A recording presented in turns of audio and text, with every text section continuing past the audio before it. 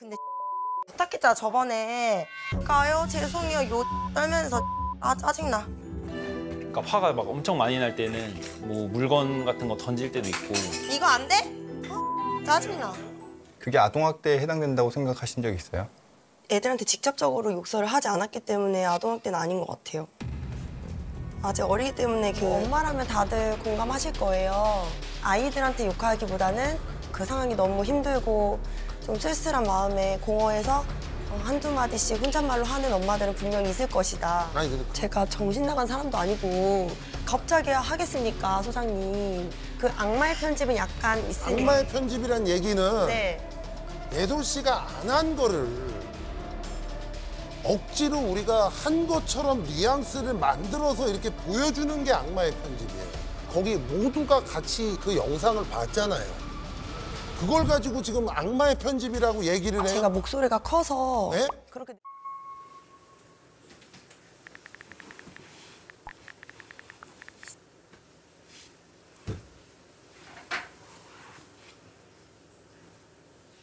막침 그때 부탁했잖아. 근데 부탁했잖아 저번에. 가요? 죄송해요. 요 떨면서. 아 짜증나. 어메.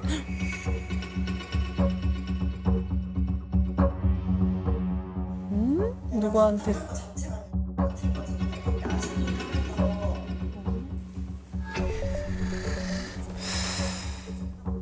그냥 난 부탁한 거 자체가 그냥 같은 거지. 그냥 그때 아쉬운 소리 하면서.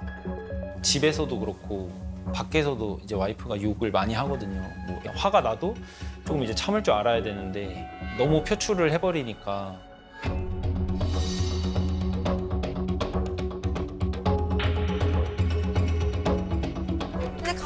갑자기 몇 시간 있다 연락이 온 거야.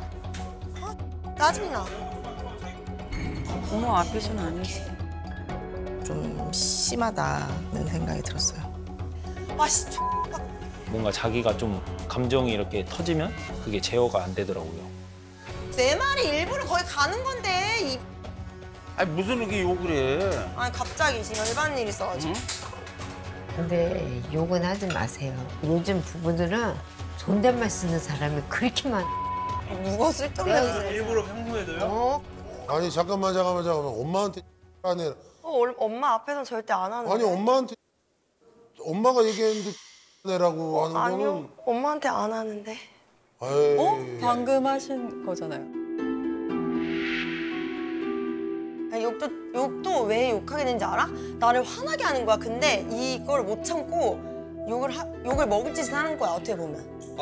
욕을 먹을 짓을 한 거야. 남편한테는 그렇게 하기 시작하면서 지금 좀 입, 입에 배가지고 제가 열받으면 분노를 못 참고 아, 미쳐버릴 것 같아요. 그러니까 화가 막 엄청 많이 날 때는 뭐 물건 같은 거 던질 때도 있고 이거 안 돼? 어? 짜증나. 최근에는 리모컨도 부셔 먹었어요. 열 마디를 하면은 여섯 일곱 마리는 발작 버튼을 누르게 해요, 막. 그리고 나한테 맨날 관종이라 하잖아.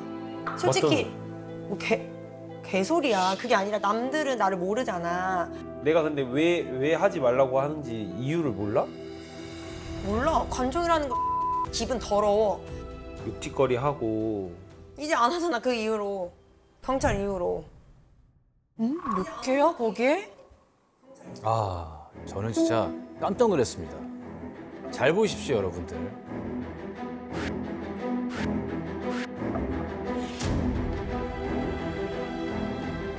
거기에 이제 욕설을 써요. 똑같이 뭐 이 새끼들 오늘도 안 자네. 나가서 다 죽어버리자 이렇게 막 쓰고 잘 보십시오. 애기들한테 욕을 한 거예요?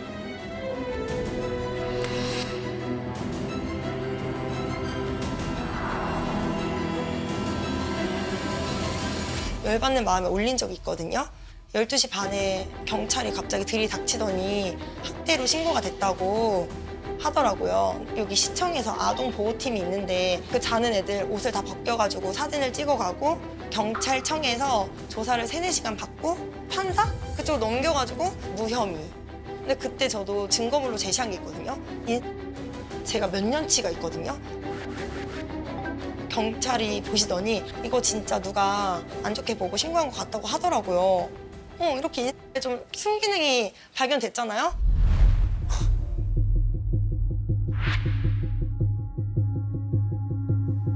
그 왜 나한테 그래? 솔직히 그 걔를 누군지 몰라도 그를 욕해줘야지 왜 나한테 뭐라 하는지 모르겠어. 난 그것도 이해가 안 돼.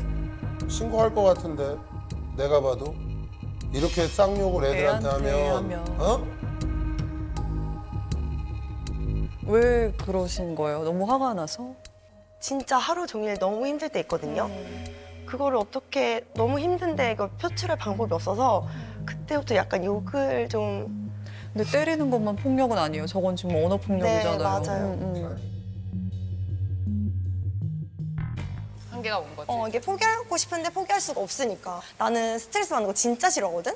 나는 그냥 다 포기해. 만약에 누가 나 짜증나게 하면은 그냥 손절하고 그 옛날에 일할 때도 그냥 힘들면 무조건 그만둬가지고 나 그 옮기 병원만 40개 된다 했잖아. 옮기 병원만 40개 된다 했잖아. 어? 그건 아닌데 나는. 난 진짜 심하거든. 나는 만약에 힘들게 하면 바로 그만두는 선택이야. 40개? 근데 지금 육아랑 결혼 생활은 그만둘 수가 없잖아. 그래서 지금 몇 년째 참고 참고 참다가 미쳐버리겠는 거야.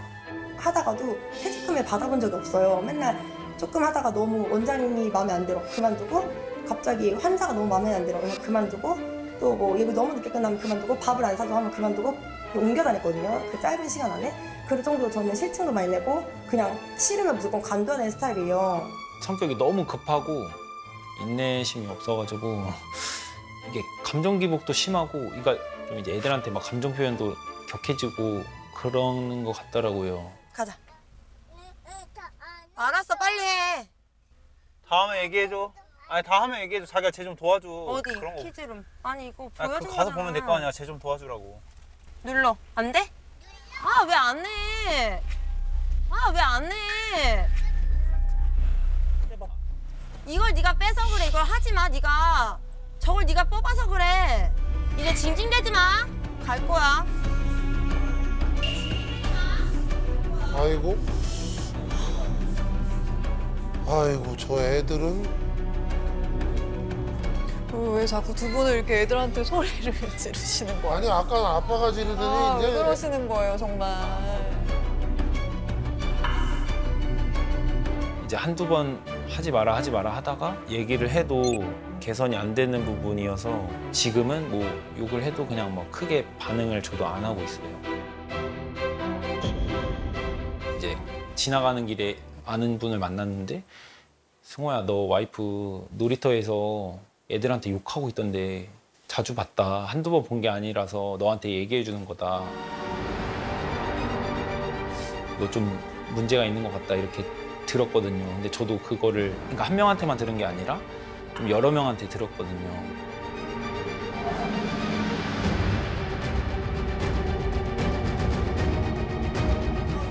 딸내미한테 무슨 야이 야 그러냐. 아유. 아, 저건 아니다. 저러면 안 되는데. 애한테 욕하는 건 진짜 아니거든요.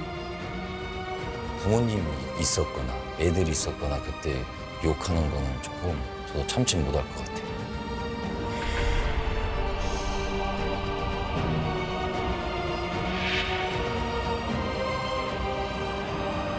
이건 뭐야?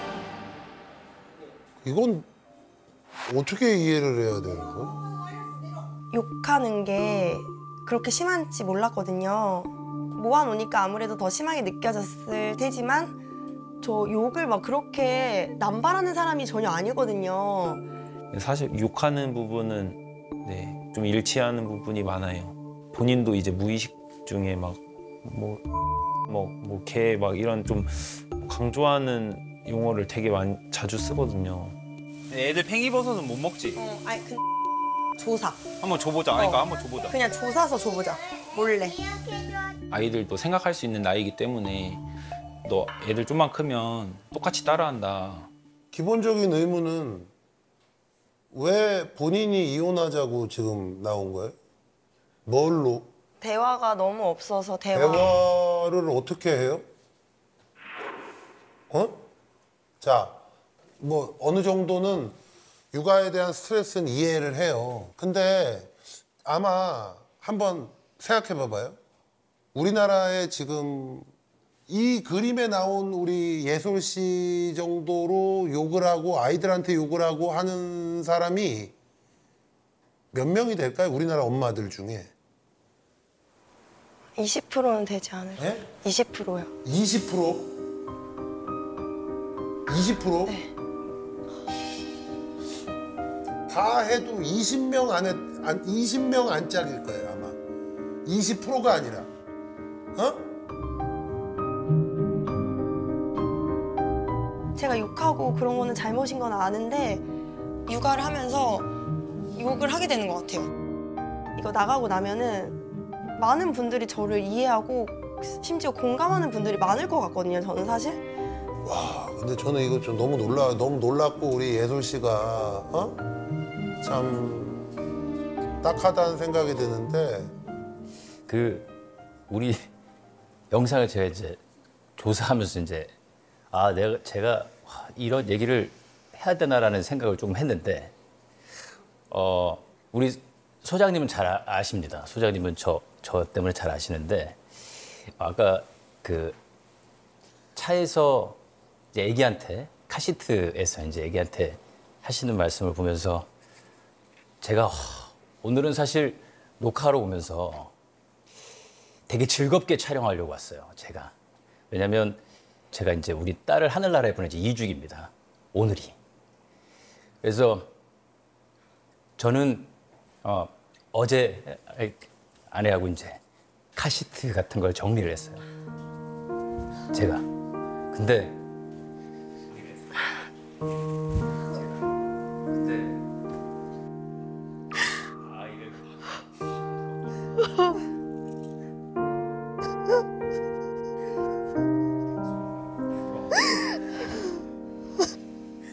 아이를 갖고 싶어도 어,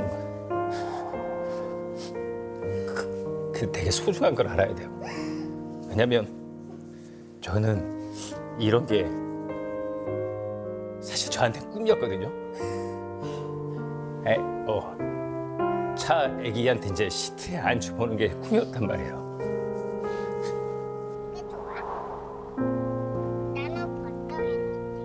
이제 징징대지 마. 갈 거야.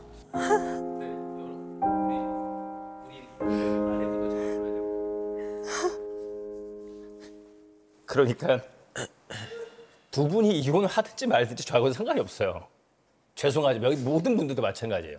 근데 하나만 약속해야 되는 게 제발 애들은 잘 키워야 되지 않겠습니까 우리가? 그, 아, 마, 맞잖아요.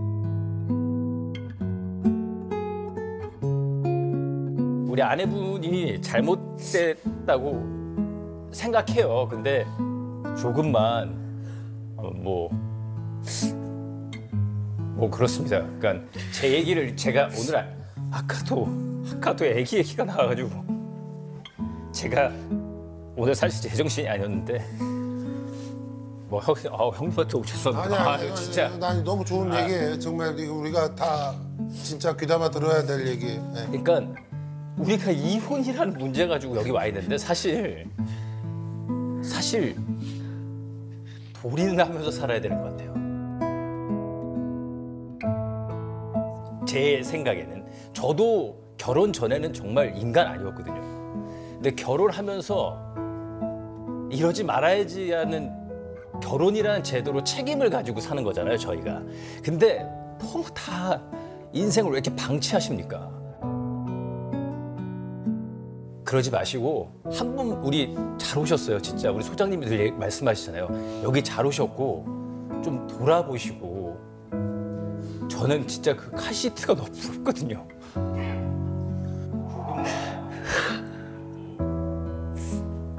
그러니까 그러니까 우리가 이제는 제일 잘안 울라고 내 그래서 그냥 엄청 참았어요. 근데 진짜 이래야지 우리 아내분한테 도움이 될 것 같습니다. 나는 지금 그 사람들이 이렇게 원하는 아이를 둘이나 한 번에 이제 가졌는데 그 감사함을 모르고 못 느끼고 그냥 불평 불만만 하면서 살았구나 하면서 엄청 후회가 되더라고요. 그래서 제 인생에 대해서 좀 많이 후회를 한 것 같아요. 저희도 처음에 이제 아이들 가졌을 때 진짜 엄청 좋아하고 축복이었는데 좀 그거를 망각하고 힘들다는 이유로 서로 이제 많이 예민해져 있지 않나 네 그런 생각이 들었습니다. 이 사실 우리 예솔 씨 좀 잘 들어야 될 필요가 있는 게 어? 우리 태연 씨한테도 참 인생에 있어서 가장 큰 상처고 근데 그거 뭐 얘기하고 싶지 않을 텐데도 진짜 아이의 그 소중함을 지금 얘기해 주려고 이렇게 한 거예요. 이거 진짜 귀담아 들으셔야 되고 그리고 저는 진짜 진심으로 여기 이 두 분한테는 좀 말씀드리고 싶은 게 어? 네. 이혼이 말이죠 무조건 나쁜 건 아니에요 어느 정도여야 우리가 뭐 어떻게 좀 맞춰보라고 얘기하고 이러는 거지 아니 이거 애고 뭐고 가 그거 오만 군데 다 쌍욕을 하고 저러고 있는데 저 사람한테 뭐 어떻게 애를 키우라고 어? 아, 너무 놀랐어요, 진짜. 너무 놀랬고, 정말 너무 답답하기도 하고, 딱하기도 하고, 이분이 과연 왜 이렇게까지 됐을까? 어? 그렇게 마음에 안 드는 게 많았다면 결혼을 하지 말았어야지. 결혼을 왜 했어요? 애를 왜 낳고. 그죠? 이 부분은 이혼이 중요한 건 아닌 것 같아요. 아이들이 받은 상처도 뭔가 솔루션이 필요할 것 같고 너무 어리고 예쁘고 아직 너무 창창하고 그런데 많이 도와드리고 싶어요. 그래서 네, 맞습니다. 나는 문제 없는 줄 알았거든. 근데 영상 보니까 내 문제가 좀 많은 것 같더라고. 반성을 많이 했어. 고쳐야 될 게 많을 것 같아 나는. 같이 하는 거지. 나도 나도 그만큼 많이 도와주고 근데 내가 막 100% 잘못은 아니야. 상황이 어떻게 이렇게 된 거지. 내 잘못은 막 많지는 않긴 해. 어, 근데 이제는 그냥 놀랍지가 않아가지고 거기서 제가 또 얘기를 하면 엄청 또 흥분해서 막 화낼 게 뻔하기 때문에 그냥 대답을 아예 안 했습니다. 다른 부부랑 우리 중에 누가 제일 심각한 것 같아? 우리가 제일 심각한데? 우리가? 나는 우리가 제일 약해. 세 부부 중에. 아니야 아니야 네? 우리는 우리는 별거 아닌데 문제는? 그럼 고쳐야 될 거 두 개. 욕하는 거, 대화 안 하는 거. 그거면 끝. 그렇지 고치면 될 것 같아. 이제라도 알았으니까. 대화하는 거는 좋아. 근데 봐봐 애들 맨날 몇 시에 자. 내가 대화를 안 하는 게 애들도 늦게 잘 뿐더러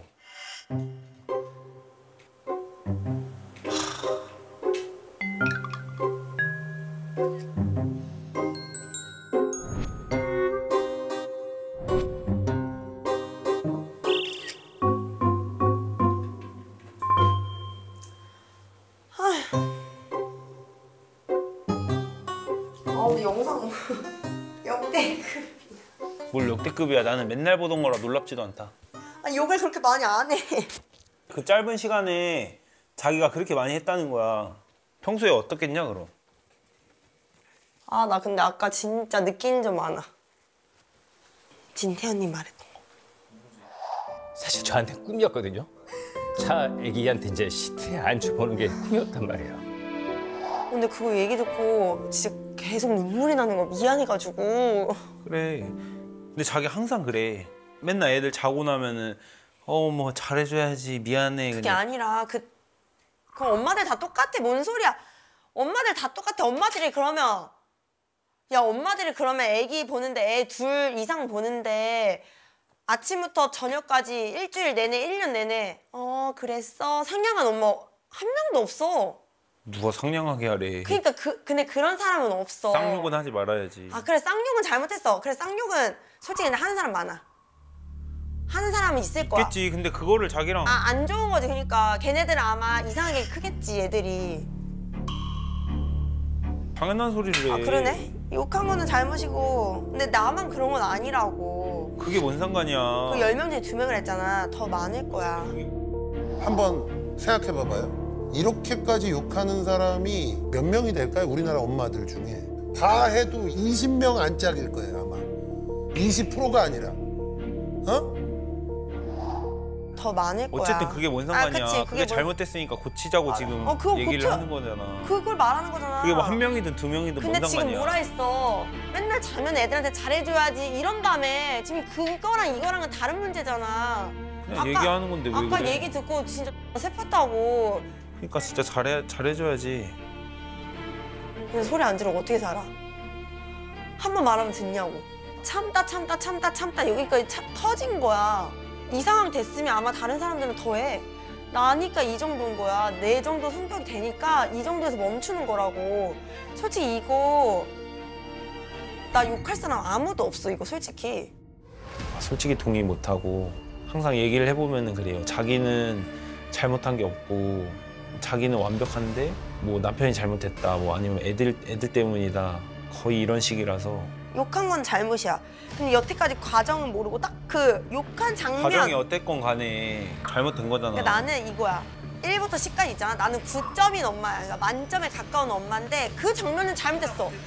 원래 10점 만점에 10점인 엄마였거든요. 뭐 사달라는 거 다 사주고 해달라는 거 다 해주고 먹고 싶다는 거다뭐 해주고 하는데 제가 1점 그냥 깎았어요. 그거는 잘못된 거니까. 그거 말고는 뭐 다 잘하는 엄마는 맞으니까. 나는 이 한 잘못이 있어. 이 잘못은 잘못이야. 이 외에 모든 것, 다른 것은 다 잘하고 있다고 내가. 잘하는 건 잘하는 거고 이거는 별개지. 예, 뭔 소리야? 이건 고칠 거야. 어, 대화가 역시나 안 돼요. 뭐 어쩌라는 거야. 대화를 어쩌라고는 해주고. 아니고 대화는 안 된다는 거야. 뭐 어쩌라는 거야.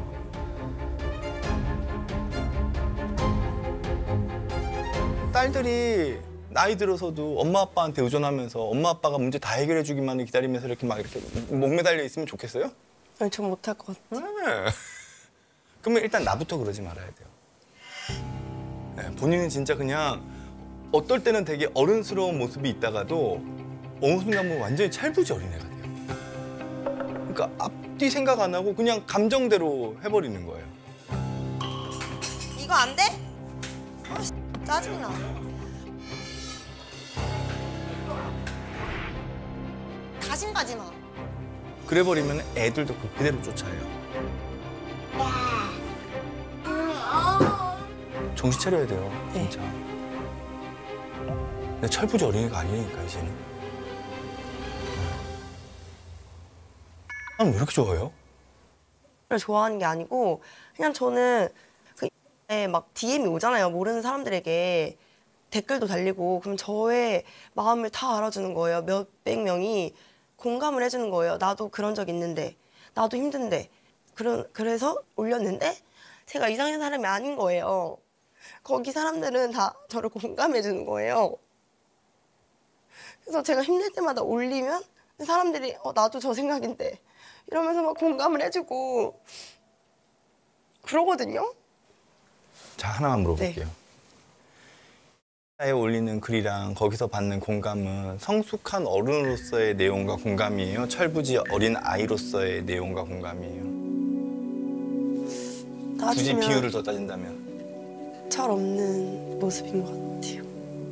그러니까 내가 거기서 못 벗어나는 거예요.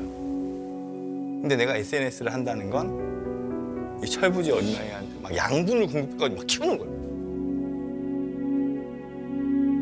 근데 나는 이제 철부지 어린아이로서의 역할을 할 시기가 지났죠. 그럼 너는 이제 조금 잠잠히 있어. 어, 내 마음에서 너는 아주 작은 부분이야로 가야 돼요. 욕설하는 영상 보셨죠? 네. 근데 그거보다 더 심하게 욕설하실 때도 있으시죠? 있었었어요. 지금은 지금은 아니에요. 그게 아동학대에 해당된다고 생각하신 적 있어요? 애들한테 직접적으로 욕설을 하지 않았기 때문에 아동학대는 아닌 것 같아요. 아직 어리기 때문에 그 나쁜 말인지 모르지 않을까 하는 생각이 있긴 해요. 지금 나이가 만 4살이요. 욕설이 나쁘다는 거를 모를까요? 그 단어를 처음 들었으니까. 모를 때 배우는 게 더 정서적으로 안 좋은 영향을 미치겠죠. 아이들이 따라하기도 쉬울 거고요.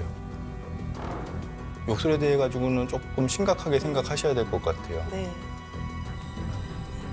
엄마가 더 이상 엄마의 역할을 못하게 되는 수가 있어요.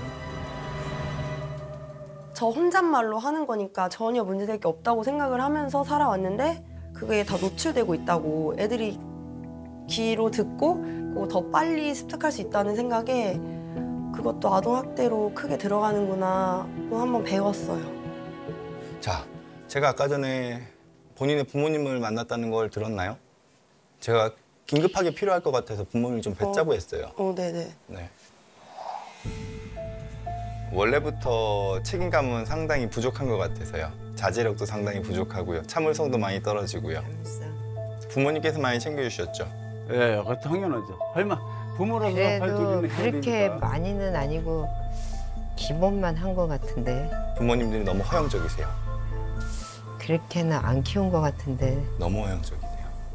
아니 애를 키우다 보니까 스트레스가 심해서 그래요 지금 애 키우는 건 앞으로도 계속 스트레스예요. 근데 쌍둥이라 두 배잖아요 근데 두 배니까요. 그거 갑자기 한 명으로 줄어요, 나중에? 근데 좀 크면 클 때까지 두 괜찮겠죠 명이에요. 아 근데 그냥 그걸 막연하게 아 시간 지나면 좋아지겠지 쌍둥이가 크면 좋아지겠지 이렇게 생각하시면 절대로 안 돼요. 그렇죠. 아닌 건 아닌 거고 고칠 건 고쳐야 돼요. 네, 네. 지금 제가 딱 보니까 느껴지는 게 딸이 나 자신 같죠. 맞아요 예, 딸이 잘 안 되면은 내가 잘못되는 것 같고 딸이 잘 돼야지 나도 잘 되는 것 같잖아요. 그러니까 딸한테 싫은. 소리를 못 하세요. 예. 그러니까 지금 딸이 아직까지 철부지 어린애로 크는 거예요. 그렇진 않은데 근데 완전히 딸만 심각한 거예요? 구할이 딸이에요. 일할이 사위. 그 정도예요? 다른 사람 같았으면 못 살아요. 성격이에요 사이도 사위처럼 저렇게 다 챙겨주는 사람이 어딨어요. 성격이라니까요 그. 그러니까 그게 성격이니까 그런 이런 성격이 없다니까요. 이거 큰일 났네. 이거 딸 이거 완전히 딸만 완전히 밑으로 떨어지는 거 아니에요 이거? 부모님이 마음을 여기서 독하게 같이 먹지 않으시면 딸은 조금 좋아지려고 그러다가 다시 망가질 거예요. 그 정도로 막판인가요? 막판이에요. 엄마가 보는 입장에서는 그 정도는 아닌데. 왜냐면은 고슴도치도 내 새끼는 눈에 넣어도 안 아파요. 그게 부모예요. 부모님이 따님한테 너무 허용적이셨어요. 지금도 그래요. 뭐가 있으면 부모님이 다 알아서 해주시죠. 본인은 이제 어린애가 아니에요. 그 누구의 철부지 딸이 아니라고요. 나는 이제 엄연히 어른으로서의 엄마의 역할을 해야 돼요. 오실 때 어떠셨어요? 이거 프로그램 참여하신다고 하실 때 아내분이 신청하신 거죠? 네.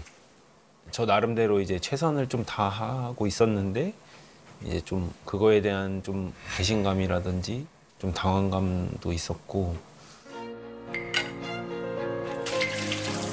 어, 비 와서 빨래가 너무 많다. 자, 아빠 잡아. 어디가 아파서 오셨나요? 빨리 누워 이제.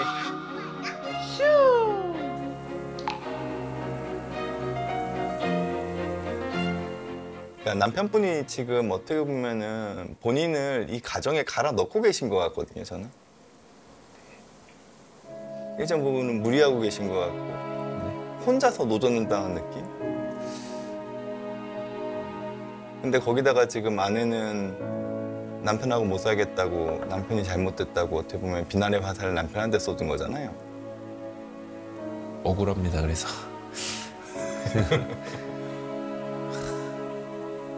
이제 아이들이 조금 크면 이제 좋아지지 않을까, 좋아지지 않을까.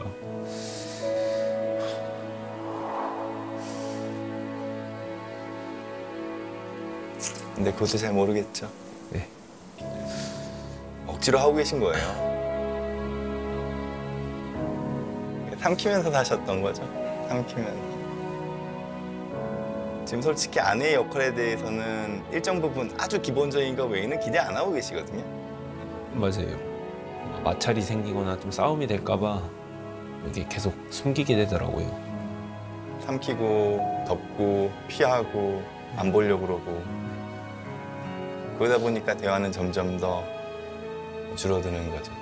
그리고 나 혼자 다 감당하고 있는 거고요.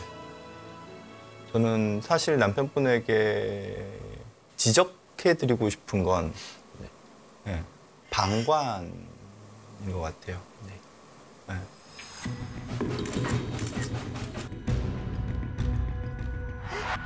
누가 쓸데없는 짓을 근데 욕은 하지 마세요. 누군지 몰라도 어떤 지 몰라도 아무튼 욕해주는 게 맞지 내가 어떤 문제로 보이는 상황이 뚜렷하게 있음에도 불구하고 해결을 하려고 끊임없이 시도를 하는 게 아니라 이거 한 번에 안 되거든요 원래. 근데 그냥 어차피 안 될 거라고 포기해버리고 뒤로 빠져버리세요. 그리고는 본인이 그냥 모든 걸 다 감당하고 감수하고는 내가 다 그냥 책임지고는 매몰돼 버리거든요. 내가 거기에. 얘기를 해봐도 이제 개선이 안 되니까 결과적으로는 방관하게 됐는데 이제 내가 표현하지 않으면은 상대방이 알 수 없겠다. 이제 좀 의사 표현도 확실히 하고 좀 대화를 많이 하려고 합니다. 그나마 다행인 건 남편은 무슨 문제가 있으면 예, 그냥 본인 혼자 독박 쓰고 말아요 그냥. 맞아요. 이런 남편 없어요. 이런 남편 없다고요. 남들 같으면은 지지고 볶고 싸우고 난리가 나죠. 근데 이 사람은 그냥 자기가 그냥 삼켜요. 아무리 써도. 어떻게 하셨지? 본인이 그래요? 아니요. 나도 정신과를 사는데 내가 전문가인데 모르겠어요. 아 정신과. 아 그래요? 저 육아 상담 선생님인 줄 알았어요. 아니에요. 정신과. 아 정신과 선생님이에요? 네. 전저 정신이 되게 궁금하거든요. 말씀하시지. 저 어때요? 철부지 어린애라고요. 그러니까 이 철부지 어린애가 어른 역할을 하려니까 얼마나 힘들겠어요. 힘들어요. 그러니까 뭐 욕하고 네, 짜증내고 힘들어서. 네, 그럼 어떻게 해야 되겠어요? 애들 버릴 거예요? 아니요. 네, 그럼 내가 어른이 돼야지. 네. 내가 성숙해지는 수밖에 없어요. 성숙해진다는 건 내가 마음에 안 들더라도 감수하고 책임지고 삼킨다는 얘기예요. 남편은 그게 너무 과해서 문제고 너무 과해요. 아내는 그걸 너무 안 해서 문제야. 네, 맞아요. 맞죠? 맞아요. 네. 딱 맞아요. 그러니까 그나마 균형추가 맞았던 아, 거예요. 네. 잘 됐네요. 근데 본인이 어른 수준으로 날 성장시켜야 돼요. 내가 힘들더라도 좀 참고 아, 네. 예. 해야 되는 건 억지로라도 하고 그리고 내가 삼켜야 되는 건 삼키고 그게 어른의 모습이에요. 상담 중 거의 50% 이상이 저보고 철부지라고 하셨거든요. 제가 아직 성숙하지 않은데 애들을 어떻게든 키워보려고 했다니 네, 저부터 성장을 해야 된다고 생각이 들었어요. 일단은 검사하셨잖아요. 네. 검사하신 거에서 성격 특성에서 남편분 같은 경우에는 정서적인 부분들을 자꾸 억누르세요. 참아요. 삼켜요. 그리고 빈 부분들을 그냥 내가 희생해서 내가 하고 말아요. 그러니까 나를 소모시키는 타입이에요. 근데 이거는 어느 순간 내가 번아웃이 와요. 그럼 그때는 와르르 무너질 거예요. 네. 아내분 같은 경우에 좀 더 복잡해요. 불안이 밑에 가장 깔려 있어요. 안 될 것 같다는 생각이 드니까 이게 비관주의로 가요. 그러면서 본인 스스로가 포기해버려요. 그게 참을성이 떨어지는 거예요. 네. 근데 여기서 나는 인정받고 싶어 하는 욕구가 있어요. 총체적 낙업이네.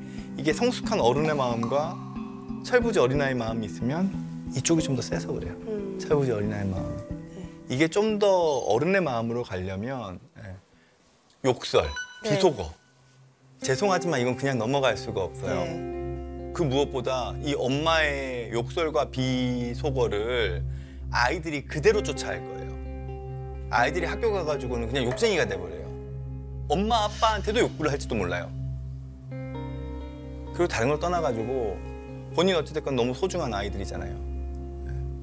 그래서 이건 어떻게 해서든지 고쳐야 돼요. 네. 그리고 SNS. 인- 포기하기 힘들죠, 그죠? 근데 그거 뭐냐 하면은 그냥 인생의 배설물을 쏟는 거랑 똑같은 거예요. 아, 그럴 수도 있겠다. SNS는 일단 비공개로 바꿔야 돼요. 음. 그리고 어쨌든 좋은 얘기도 있겠지만 나쁜 얘기도 있어요. 그럼 이상한 얘기들밖에 내 눈에는 안 들어온다고요. 그러면 내 감정도 더러워져요. 네, 근데 그 사람들이 저를 욕할 거 아니에요. 그러니까 뭐 때문에 욕하는지 궁금해서 열, 열어놓으려 했거든요, 일부러. 나에 대해. 남의 배설물을 굳이 본인이 아. 볼 필요가 있어요? 아니요. 굳이 내가 알지도 못하는 사람들의 공감, 알지도 못하는 사람들의 비난, 비판, 내가 여기에 귀를 기울이는 건내 인생을 그냥 허비하는 거고 쓸데없는 배설물을 내가 또 모으고 있는 거랑 똑같아요. 저는 일단 이 자리에서 SNS를 비공개로 바꿨으면 좋겠어요.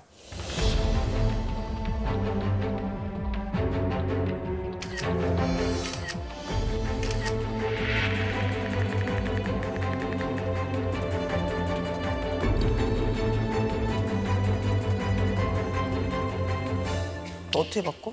이게 나한테는 되게 큰 의미가 있어요. 정말 큰 선택이에요. 큰, 맞아. 정말 큰 거예요. 다 인정해요.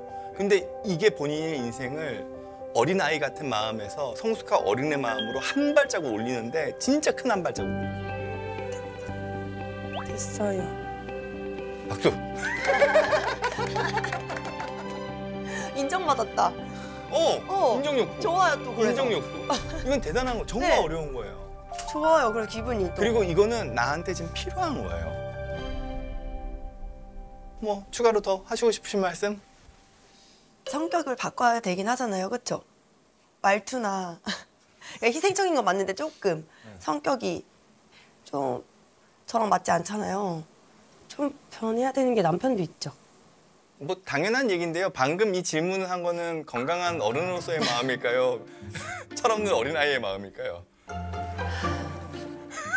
그러니까 머리 안에서 끊임없이 생각해야 돼요. 네. 왜냐면 나한테 한 번 더 확인받고 싶은 거야. 그 철부지 어린아이가. 나만 문제가 아니라 남편도 문제가 있죠, 이거를. 그 머리 안에 항상 생각해요. 진짜 정확하십니다. 그리고 그거를 옆에서 같이 도와주셔야 돼요. 네. 같이 도와주시는 거예요. 네. 좋은 말씀 감사합니다. 아, 그래도 시간이 너무 오버. 어떻게? 그 다른 와이프들보다는 저, 제가 지금 방금 것도 성숙한 어른일까요?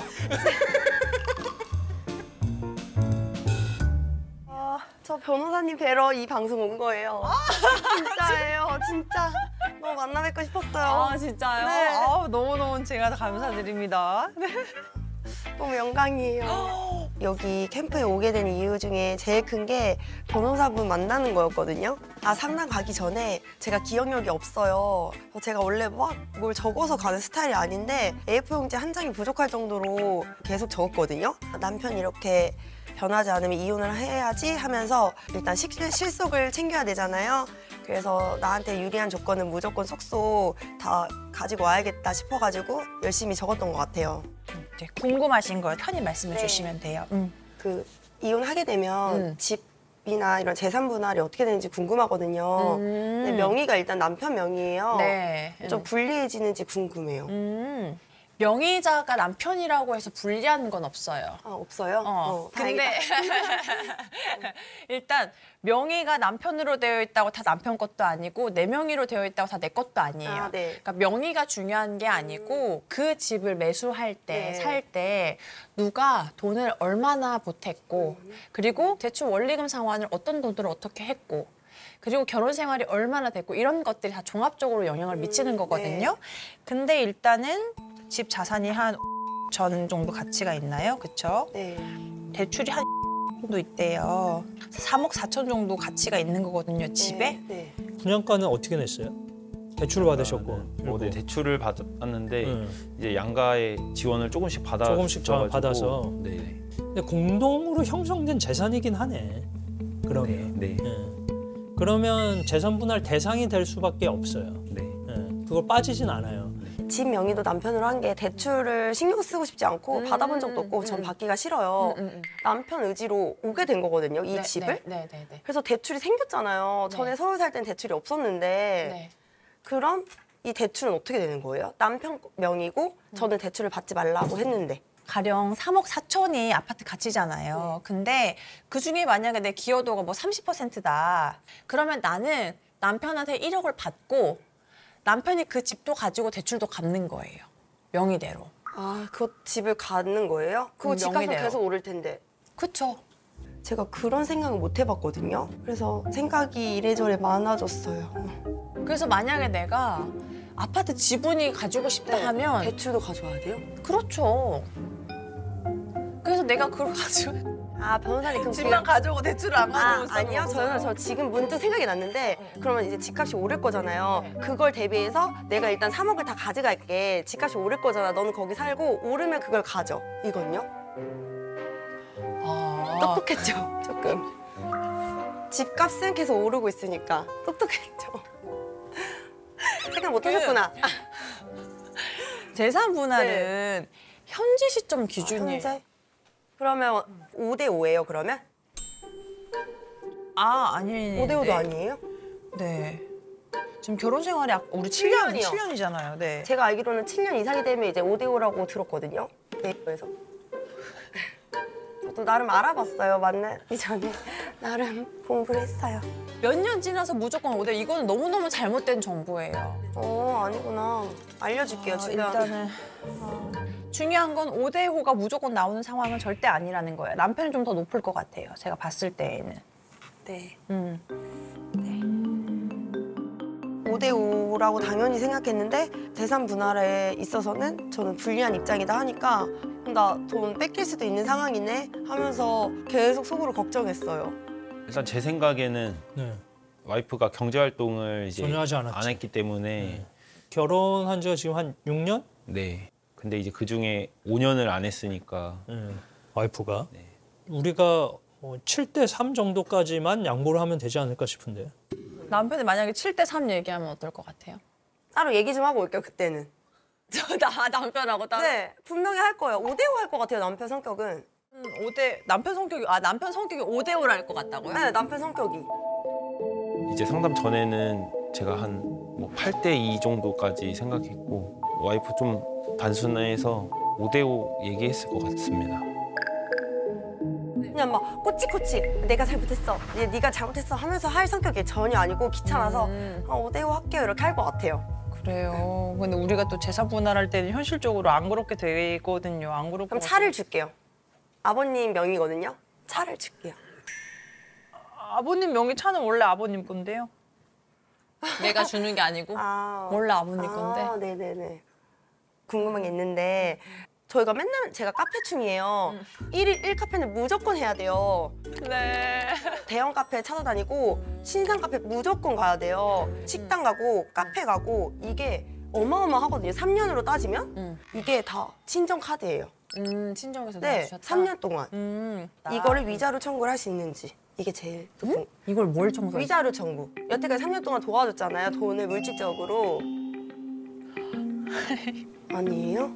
이거 너무 당당히 얘기했는데. 그 위자료 청구는 너 때문에 결혼 생활이 깨졌어. 당신 책임이야. 그러니까 정신적 손해를 돈으로 배상하라는 게 위자료예요. 이건 빼고. 그러면은 이제 저도 뭐 목돈이 생기면, 생기면. 그쵸, 회사에서 상여금이라든지 네네. 이런 게 생기면 네. 그것도 저 공동재산이죠. 아, 네. 근데 이제 아예 상관없는 재산들이 있을 수는 있잖아요. 아, 네네. 내가 하면서 예를 들어서 남편분이 복권을 샀는데 복권이 됐어. 그것도 재산 분할이냐? 그건 아니에요. 어. 복권이 되신 게 있다. 네. 그건 남편 재산. 그런 그런 사실. 매주 로또를 사야 되나 그 생각도 하고 상여금이라든지 아니면 이제 회사에서 위로금이라든지 이게 제 노고에 대한 보상이니까 100%제 돈일 줄 알았는데 아니더라고요. 양육 만약에 이혼하면 어떻게 돼요? 그러면 무조건 양육은? 무조건 제가 해야 무조건. 데리고 온다. 네. 하... 아내는 어떤 입장이에요? 제가 아는 와이프는 뭐 본인이 한다고 할 것 같아요. 솔직히 와이프가 데리고 간다고 해서 잘 키울 수 있을까라는 생각이 좀 먼저 들고 거죠. 예. 그 정신과 상담을 했었거든요 어제. 근데 의사 선생님이 일부의 영상만 보시고 제가 아기들이 있는 와중에 욕설을 한다거나 뭐 소리를 친다던가 이게 정서적인 학대라고 표현을 하시더라고요. 욕설에 대해 가지고는 조금 심각하게 생각하셔야 될 것 같아요. 네. 엄마가 더 이상 엄마의 역할을 못 하게 되는 수가 있어요. 근데 사실 뭐 정서적인 학대가 직접 욕을 한 것도 아니고 그 욕하는 상황에 상황에 아이들이 노출, 노출됐을 뿐인데. 노출됐을 뿐인데 그게 양육권을 뺏긴다 하더라고요. 음. 말이 안 되잖아요. 말이 돼요. 진짜예요? 진짜예요. 제가 근데. 주 양육자고 애들이 저를 더 따르고 제가 케어하는 게 더 길잖아요. 시간으로 따지면. 그러니까 더 불리해질 수도 있죠. 그런데 중요한 게 뭐냐면 아이들 양육권자를 정할 때에는요 아이한테 누가 더 적합한지 평소에 아이를 어떤 태도로 어떻게 양육하는지도 굉장히 중요하거든요. 근데 제가 그 영상을 다 봤다고 했잖아요. 근데 그 영상이 제가요 변호사님 맨날 그런 게 아니고요. 어, 맨날 그런- 아니에요. 맨날 그런 게 어. 아니고 정말 일년에 한두 번 있을까 말까 뭐 6개월에 몇 번 있을까 말까요 라고 하셔도 그 몇 번이 있으면 불리해질 수 있는 정도예요. 내가 아이한테 직접적으로 욕을 해야만 아동학대가 되는 게 아니라요.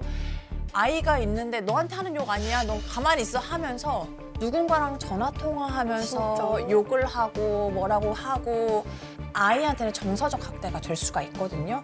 근데 영상은 사실 일부잖아요. 일부라는 걸 제가 감안하고 말씀드린 거예요. 이게 1년 중에 그런 일이 한 번만 있어도 그렇다는 거예요. 1년 중에 한 번이어도.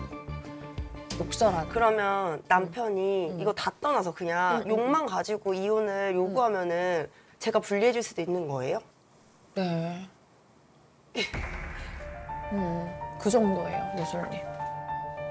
진짜 욕이 그렇게 시- 심각해요? 아, 저 사실 이거 진짜 몰랐어요.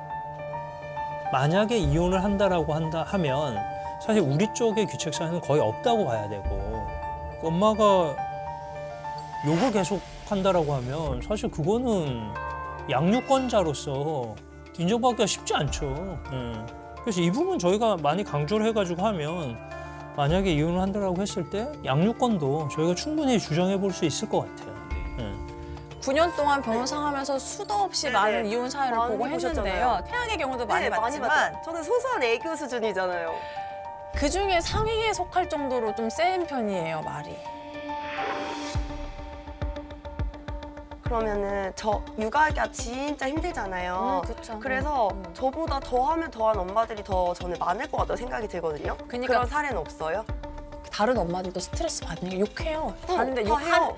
다 욕하지만 애들 있는 자리에서 하는 엄마들 없어요. 우리나라 인구가 많잖아요. 혹시 있지 않을까요? 그래도? 음, 있죠. 네. 있어요. 있으니까 그 사람들이 유책 배우자가 돼가지고 소송을 된 당하는 거예요? 거예요. 아 그거는 잘못된 심각한 거구나. 음, 진짜 소송으로 가게 된다면 그러니까 무조건 내가 양육권 이길 수 있어 그런 상황 아니에요. 저는 당연히 제가 주 양육자니까 양육, 양육권을 가지고 올 수 있을 거라고 생각했거든요. 근데 저희 편이 양날의 변호사님도 양육권을 뺏길 수 있다 이렇게 말씀하셔가지고 너무 놀랐어요. 내가 잘 표현을 해서 말하면 내 쪽으로 넘어올 수 있겠구나. 진짜 한 뭐 한 70% 80%까지도 좀 승산이 있겠구나 이렇게 생각했습니다. 오늘 변호사 상담했잖아. 만족스러운 결과를 들었어? 변호사 상담 통해서? 음, 아 만족스러운 결과를 들었다고? 음. 든든한 서포트? 그 지원군이 딱 생긴 것 같고 다 긁어줬어. 딱 다 알아 알아줬어. 아니 그냥 물어보는 건데 만약에 내가 5대5 제시하면은 괜찮지 그 정도? 아니? 아니라고? 당연히 내 지분이 높, 높은 거 아니야? 지분이 높다고? 어떻게 5대 5야? 근데 내가 높지. 나한테 다 줄 수는 없고? 가게한테 그걸 왜 줘? 헐 사랑하는 와이프였는데 남인데 이혼하면 남인데? 원래 안 그러잖아 성격 이혼하면 남인데 왜? 원래 칼 같지 않잖아 이 수치상으로 봐도 내가 더 지분이 높아. 돈 벌어서?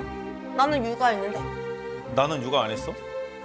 이따가 해보자고 네, 지금 소장께서 보고한 것처럼 우리 예솔님은 남편의 소통 거부 그리고 육아 간의 충돌로 인해서 이혼을 원하시고 이혼 소녀 캠프에 참여했잖아요. 캠프 다녀오신 다음에는 어떠셨어요?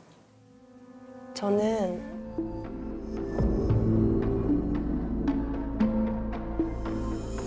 이혼 생각이 있습니다. 이혼 생각이 있습니다. 그래서 만약에 진짜로 이혼을 하게 되면 어떻게 되는지 궁금합니다. 남편 승우님은 어떠세요? 우선 와이프 생각이 그렇다면 저도 또한 이혼에 대해서 좀 진지하게 알아보고 싶습니다.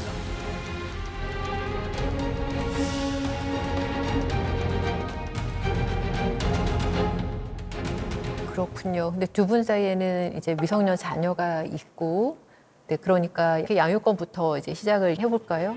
저희는 전업주부로 아이들을 거의 전담해서 케어를 하고 있고 아이에게는 엄마가 절대적으로 필요한 나이이기 때문에 양육권을 이제 아내가 가지고 양육비를 아이 1인당 100만 원 해서 200만 원 지급받기를 원합니다. 뭐 양육권 관련해서 저희도 먼저 말씀드리면 남편분도 그 아이들에 대한 애착이 상당히 강하고요. 양육권을 원합니다. 양육권을 원합니다. 다만 이제 우려되는 사항들이 몇 가지 있어서고요. 아이들의 교육에 있어서 엄마가 욕설을 자주 하고 지금 딱 나이대가 이제 말을 배우면서 할 수 있는 그런 나이대여서 과연 양육을 혼자서 오롯이 할 수 있는지에 대한 일단 의심이 좀 있고요. 어, 제가 첫날 아이한테 이렇게 욕하는 사람이 우리나라에 어느 정도 되겠냐라고 여쭤봤더니 이 그림에 나온 우리 예솔 씨 정도로 욕을 하고 하는 사람이 몇 명이 될까요? 우리나라 엄마들 중에 20%는 되지 않아요. 네? 20%요. 20%?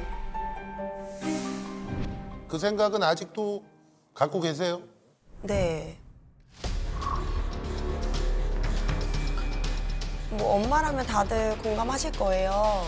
아이들한테 욕하기보다는 그 상황이 너무 힘들고 좀 쓸쓸한 마음에 공허해서 어, 한두 마디씩 혼잣말로 하는 엄마들은 분명히 있을 것이다. 아니 근데 그거랑은 제가 얘기한 거랑은 완전 다른 얘기. 제가 그 제가 뭐 그 정도도 영상을 뭐 저만 본 게 아니라 우리 모두가 다 봤는데 제가 정신 나간 사람도 아니고 갑자기 하겠습니까, 소장님.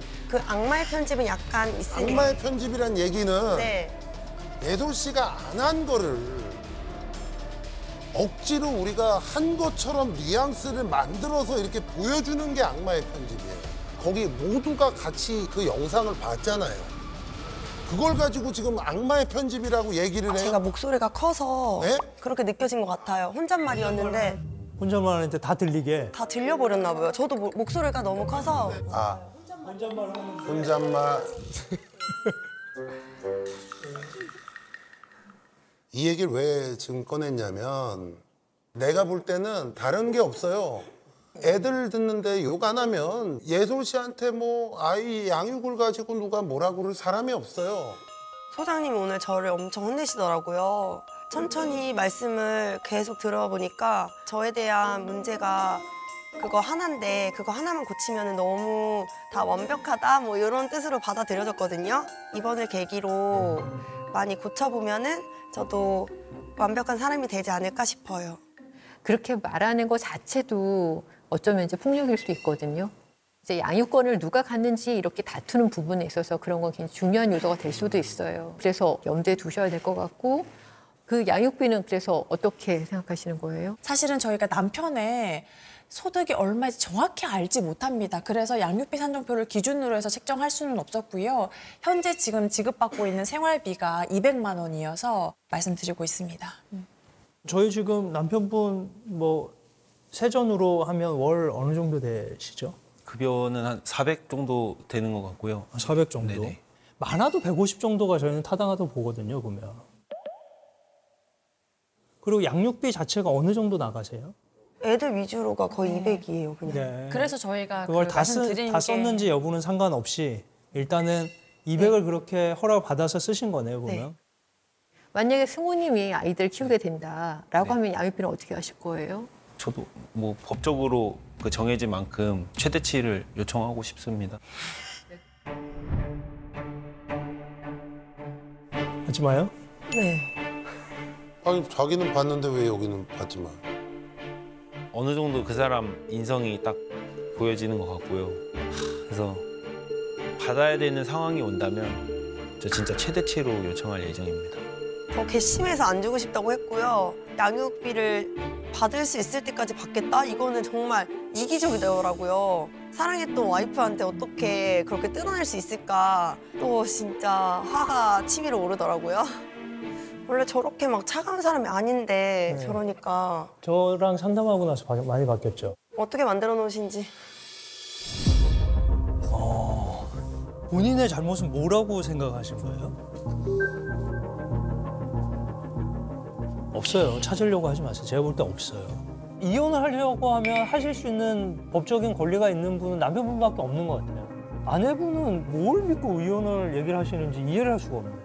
신청을 제가 했어야 되는데 당연하죠. 잘못됐습니다, 네. 진짜. 어, 법적으로는 명확해야죠. 뭐 줘야 아, 줘, 줘야 될 것 같아요. 얼마까지? 얼마까지요? 제- 그래도 뭐 30만 원 주면 저희가 뭐라고요? 한 사람에 30만 원씩 두명 60만 원. 일을 안 할 때. 일을 하면은 이제 소득에 맞춰 맞춰가지고 네 네. 양육비는 이제 그렇게 아마 결정이 될 겁니다. 만약에 두 분 이혼을 하시게 된다면 그러면은 양육자가 이제 예술님으로 정해지면 네. 그럼 예술님은 경제 활동은 안 하실 건가요? 저는 지금 마음이라도 먹으면 당장 내일이라도 일할 곳이 있, 있잖아요. 난 모르죠. 저희가 모르죠. 그걸 어떻게 알아요. 네. 당장 내일이라도 할 수 있어요. 근데 8년간 이직을 40번을 하셨어요. 그래서 그 40번이요? 그거는 갈 곳이 많다는 거 아니겠어요? 그러네. 갈 곳이 많기도 하지만 안정적이지 않다는 얘기도 되잖아요. 그렇죠. 이제 저희가 사회생활을 다시 시작하게 된다면 아 내가 한 사람의 사회 구성원으로서 잘 자리를 잡기 위해서는 이런 부분도 스스로 내가 좀 고쳐야겠다. 많이 느끼고 반성하고 또 깨달은 게 또 많았거든요. 그래서 저희가 양육권을 가져왔을 때 양육에 크게 지장이 없을 거라고 말씀드리는 거고 아, 당연히 엄마가 좀 잘했으면 좋겠다는 마음이지만 혹시 우려되는 부분들이 해소되지 않는다면 어, 남편분도 양육권을 강하게 주장하고 있고요. 저도 엄마처럼 잘 해줄 수 있고 그리고 엄마처럼 이렇게 험한 말도 안 하고 잘 놀아주니까 현 상황이 제가 더 맞지 않나 싶습니다. 진짜 이혼을 하려고 아주 작정했네. 그래서 저도 똑같이 양육권은 절대 안 뺏겨야지 하면서 좀 마음을 다잡았어요. 우리는 여기에서 예술님이 양육자가 되어야 된다. 또는 승우님이 양육자가 되어야 된다. 이렇게 정하는 것이 아니에요. 조정하는 자리에서는 두 분이 정하셔야 되는 거거든요. 그렇기 때문에 그걸 여지를 남겨두고 재산 분할에 대해서 한번 들어보도록 하겠습니다.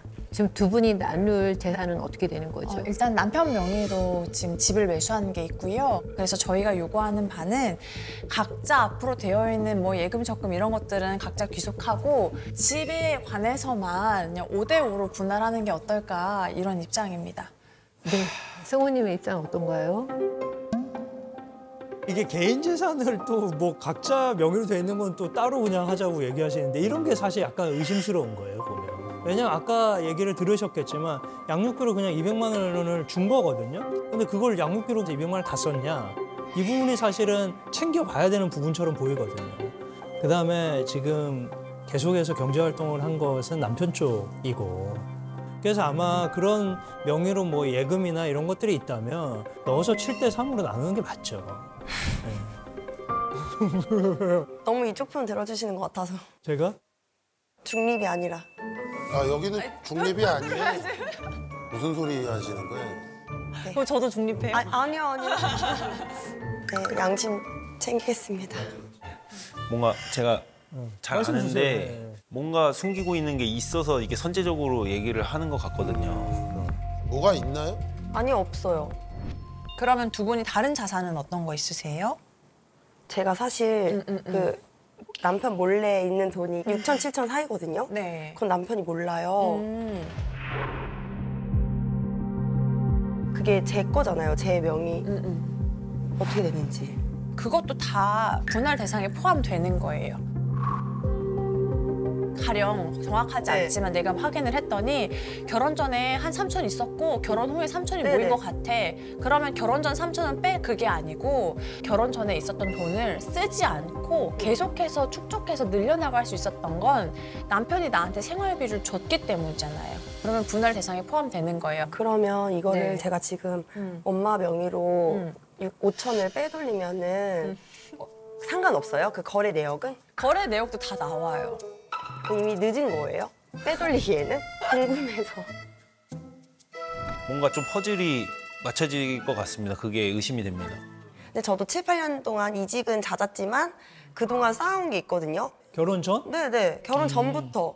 전부터 기간은 모르겠지만 결혼 전부터 걸쳐서 그때 모아둔 돈이 있으신 거네. 있을 수도 있어가지고 그거는 확인한 적이 없어서 그거는 그냥 제가 깔끔하게 그거까지 파면 너무 복잡하니까 아니 근데 그거는 말이 안 되죠. 왜냐하면 지금 걸쳐서라고 얘기한다는 거는 같이 기여한 거니까 그거는 그렇게 얘기할 문제가 아닌 거죠. 그렇죠. 제가 모아둔 것 200만 원 생활비가 부족할 것 같으니 이런 넣고 거는 그냥 예금도 예금까지 넣어요? 많으니까. 어, 퍼즐이 응. 맞춰질 것 같습니다. 그러면 예금을 넣고 5대5 해드릴게요. 해드릴게요. 뭘 해드릴게요? 뭘 해드릴게요? 자, 예금이 얼마 정도 있어요, 지금 정확하게? 6천에서 7천 사이예요. 6천 많네. 얼 6천에서 7천 사이예요. 6천 얼마. 그 열심히 모으셨네 그래도 되게.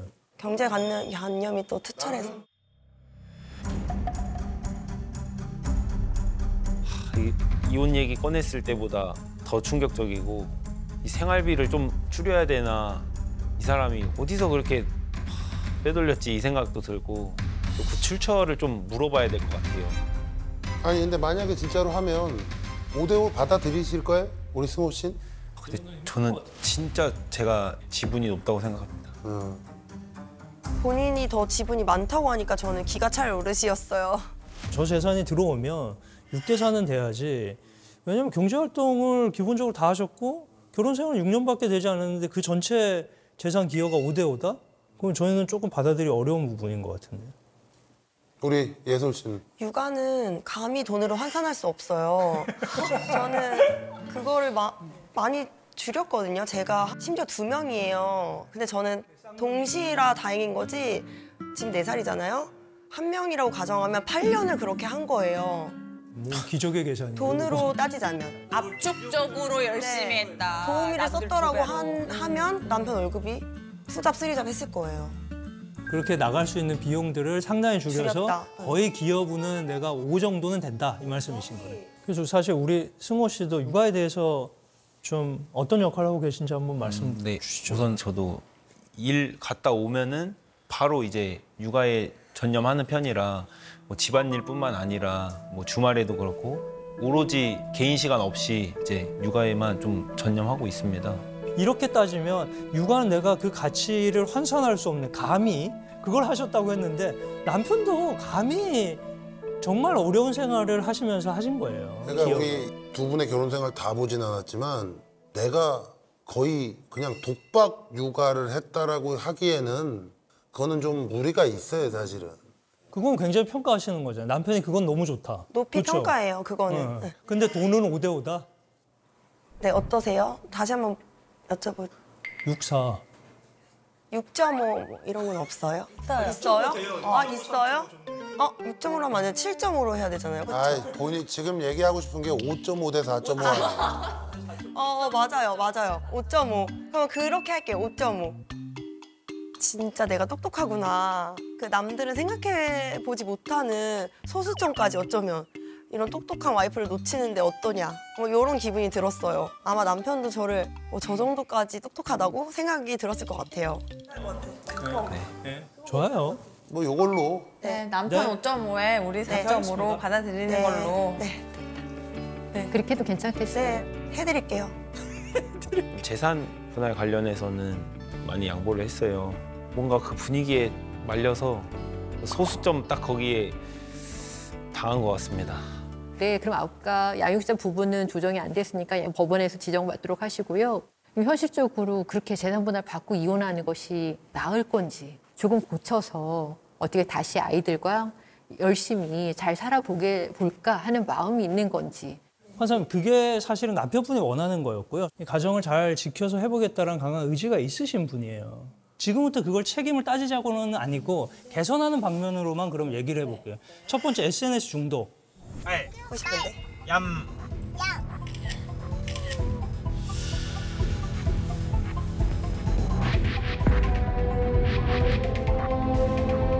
SNS에 시간을 얼마나 투자하시는 거예요, 아내분이? 잠잘 때 빼고 계속 한다고 보면 되거든요. 그러니까 뭔가 부족했나 봐요. 낮에 한 게 부족해서 밤에 또 SNS 하고 보통 한 두세 시 막 이때 자면은 결국엔 또 늦잠 자고. 이게 사실은 발단이나 원인이 돼가지고 다른 문제들도 결국에는 영향을 미치는 것으로 보이는데요, 그렇죠? 애들 등원 냈는 거, 그렇죠? 그게 생활 패턴에 굉장히 큰 영향을 미치고 있기 때문에 이 인와 관련된 중독 부분을 해결해 달라. 음, 저희도 이 부분에 대해서 개선하려고 노력 할 거거든요. 그래서 저희가 정한 거는 아기들이 등원해가지고 아내가 혼자 있는 시간에 SNS를 하겠다. 그 말인 즉슨 애들과 같이 있을 때는 SNS 하지 않는다는 뜻이거든요. 게시물까지 조금 정리를 하고 가면 어떨까요? 게시물이 사실은 시간은 물론 그러시겠지만 굉장히 많이 올리시잖아요. 그건 게시물 아예 안 올릴 올려요? 의향이 있어요. 아 그래요? 한 개 정도. 스토리도 스토리는 다섯 개 정도? 네. 게시물은 그래. 한 개. 그러면 스토리 다섯 개, 게시물 이하, 한 개, 이하. 아, 어, 다섯 개 네, 네. 이하, 게시물 하루 한 개. 솔직히 스토리 다섯 개는 좀 오바잖아요. 요즘 스토리 다섯 개만 올리는 사람이 어디 있어요. 어떻게 해야 될지 사실 지금도 머릿속이 복잡해요. 그러면 그렇게 네, 네. 어, 네 좋습니다. 그렇게 우리도 노력할 테니 저희도 요청 사항이 있어요. 아 그 관련해서 네. 있어요? 네, 뭐가? 그게 뭐냐면 SNS에 그런 게 있잖아요. 좋은 글귀들 그거를 DM으로 하루에도 몇십 개를 보내거든요. 읽어보라고 일하고 있는 와중에 그거를 꼭 읽기. 지- 내가 보내는 DM 그 좋은 글귀들 뼈가 되고 살이 되는 말들이 그걸 읽기요. 그럼 몇 개 보낼 거예요? 그럼 양심상 응, 양심상 다섯 개? 아니 다섯 개면 한 달이면 150개예요. 저는 근데 하루에도 보는 게 어. 진짜 한 500개가 넘어요, 저는. 그 중에 추린 거니까 얼마 시간 절약이에요? 아니, 너무 좋은 건데? 어떻게 해요? 세 개 할까요? 만약에 남편은 세 개도 힘들다고 하면 몇 개까지 양보할 수 있어요? 하루 하나? 아, 지, 지가 보는 게 더 많을 텐데 내가 보낸 꼴랑 세 개도 못 봐? 하고 좀 반박을 해볼게요. 그거는 좀 양보 못 할 것 같아요. 이거를 마냥 또 막 많이 보내면 보기 어려우시니까 하루에 세개 정도만 저희가 보낼 테니 남편이 봐주시면 우리도 SNS 줄이겠다. 애들 있을 때는 네. 안 하겠다. 어떠세요?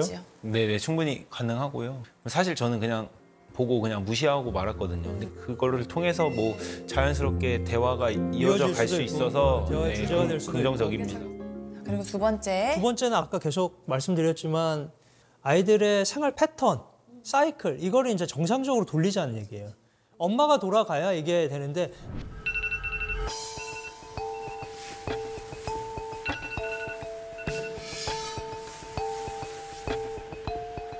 나 일어나. 네? 여보세요? 네. 어, 주문했어? 바빠, 바빠. 그래서 사실 이 부분을 저희가 심도 깊게 얘기를 했었고 아내분도 아이들이 규칙적으로 아침에 일찍 등원하는 게 무엇보다 중요하다는 걸 정말 아셨거든요. 네. 원래 11시 등원이니까 9시 반 이전엔 무조건 하려고요. 11시 등원이에요? 그러니까 본인 본인이 11시 등원 하니까 다른 친구들은 9시입니다. 9시. 9시가 룰이잖아요. 근데 이게 왜냐하면 왜 걱정을 하냐면 아이들이 어릴 때부터 이게 내가 이 시간을 안 지켜도 된다라는 게 이게 입력이 되면 이게 의미가 없어져요. 룰을 지키는 의미. 네. 유치원에서 얘는 지각하는 애 이렇게 되면 안 되는 네, 거예요. 그래서 9시 반 정규 때는 네, 무조건. 알겠습니다. 네, 네. 네. 그러면 이제 따로 저희가 요청드릴 사항이 있어가지고 아, 또 있어요? 저희가 얘기를 했던 거는 아내한테 이 두 가지 말은 절대 하지 않기. 그 중에 첫 번째 관종. 이 얘기 듣는 게 너무 속상하대요. 음, 관종. 네. 그리고 두 번째가 그럴 거면 너 혼자 육아해. 아, 왜 아무도 안 돼? 짜증나게. 왜? 이게 이게 관종이라고. 몰라. 관종이라는 거 기분 더러워. 그러니까 그게 관종이라고.